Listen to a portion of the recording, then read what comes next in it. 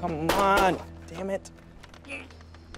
What are you doing? Uh, nothing. I'm just sending some faxes. Stand down. They're stuck, Donna. What are you gonna do? I'm the fax whisperer.